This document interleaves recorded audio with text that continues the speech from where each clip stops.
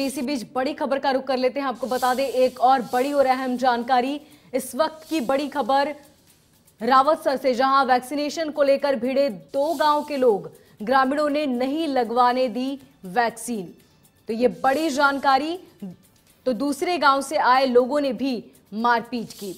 दो गाँव के लोगों में ज़बरदस्त मारपीट हुई। वैक्सीन को लेकर यह हिंसा देखने को मिली, जहाँ पर वैक्सीन नहीं लगाने दी गई, जिसके बाद दो गाँव के लोग आपस में भिड़ गए। तो ग्रामीणों ने वैक्सीन नहीं लगवाने दी तो दूसरे गाँव से आए लोगों ने की मारपीट। और हिंसा देकर प्रशासन ने वैक्सीनेशन कार्य को रोक दिया है। यह बड़ी जानकारी घटना का वीडियो सोशल मीडिया पर वायरल हो रहा है। आपकी टीवी स्क्रीन पर यह वीडियो जो हम आपको दिखा रहे हैं, ये वही वीडियो है जब रावतसर में वैक्सीनेशन को लेकर दो गाँव के लोग आपस में भिड़ गए। ग्रामीणों ने वैक्सीन नहीं लगवाने दी, जिसके बाद जो दूसरे गाँव से लोग आए थे, उन्होंने भी लोगों से मारपीट की।